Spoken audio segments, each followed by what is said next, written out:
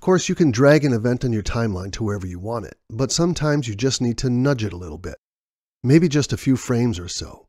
It can be difficult to do that accurately with the mouse without zooming way into your timeline, but you can accomplish the task very easily with the number pad on most keyboards. Click an event on your timeline to select it.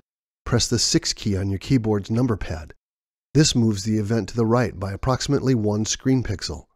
Depending upon your zoom level and project frame rate, this could be anywhere from 1 to 3 or 4 video frames.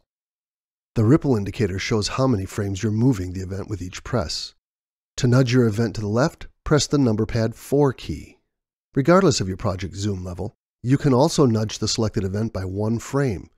To do this, press the 3 key to move the event one frame to the right, and the 1 key to move it one frame to the left. These nudge shortcuts work in all versions of Vegas Pro and Vegas Movie Studio.